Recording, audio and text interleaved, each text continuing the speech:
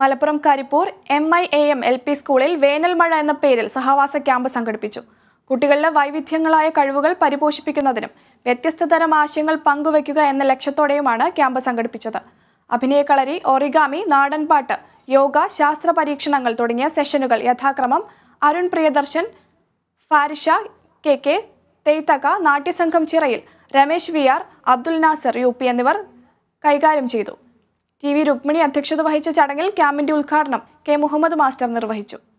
ക്യാമ്പിനെ സംബന്ധിച്ച വിശദീകരണം പ്രധാനാധ്യാപകൻ Prabhakaran V T വിദ്യാർത്ഥികളുമായി പങ്കുവച്ചു.